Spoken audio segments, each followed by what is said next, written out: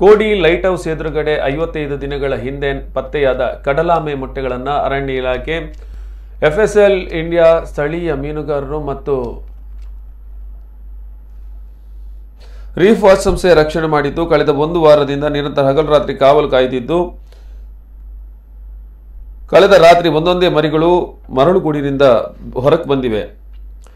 Olive Reddy ಜಾತಿಗೆ ಸೇರಿದ ಎಪ್ಪತ್ನಾಲ್ಕು ಕಡಲಾಮೆ ಮರಿಗಳನ್ನು ಸುರಕ್ಷಿತವಾಗಿ ಸಮುದ್ರಕ್ಕೆ ಬಿಡಲಾಗಿದೆ. ಈ ಚಟುವಟಿಕೆ ಸುಮಾರು ಎರಡು ಗಂಟೆಗಳ ಕಾಲ ನಡೆಯಿತು. ಈ ಪ್ರಕ್ರಿಯೆಯಲ್ಲಿ ಅರಣ್ಯ ಇಲಾಖೆ ಅಧಿಕಾರಿಗಳಾದ ಉದಯ ಬಿ. ಬಸವರಾಜ್, ರಂಜಿತಾ ಪೂಜಾರಿ ಹಾಗೂ ಎಫ್ಎಸ್ಎಲ್ ಸಂಸ್ಥೆಯ ದಿನೇಶ್ ಸಾರಂಗ, ನಾಗರಾಜ್ ಶೆಟ್ಟಿ ಸಬ್ಲಾಡಿ ಮೊದಲಾದವರು ಉಪಸ್ಥಿತರಿದ್ದರು.